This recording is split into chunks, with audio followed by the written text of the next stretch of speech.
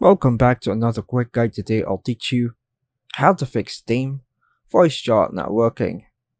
And it's literally an easy process, make sure to watch until the end of the video to know how it's done.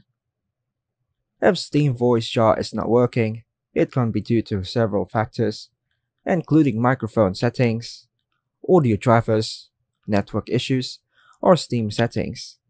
Here are steps to troubleshoot and resolve the issue.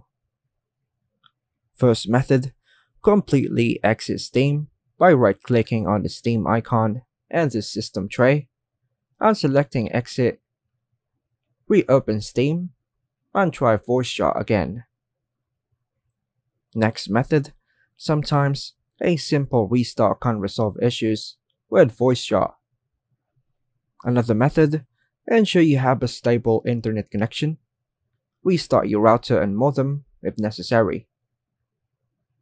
Another method, right-click on the speaker icon in the system tray, and choose to click Open Sound Settings.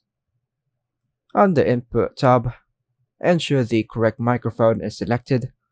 Also default is a great choice too. Now, click on the Start Microphone Test, and test your microphone to make sure it's working. Next method, go to the settings on Windows System, Sound. Then on Input section, click on your microphone.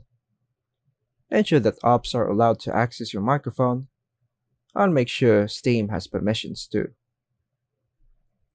Another method, open Steam and go to Steam, Settings, Downloads, then click on Clear Cache. This will log you out of Steam, so you will need to log back in.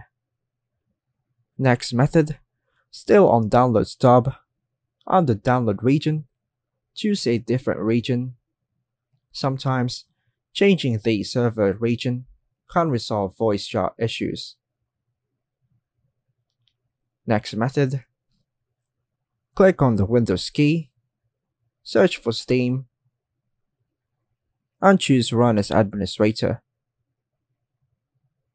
Another method, Right click on the game in your Steam library, then choose Properties, go to the Installed Files tab, click on Verify Integrity of Game Files. Last method, as a last resort, consider installing Steam. Make sure to back up your game data and save files.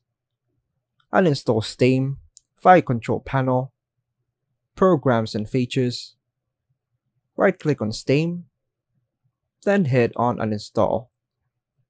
And just download the latest version of Steam on the official Steam website.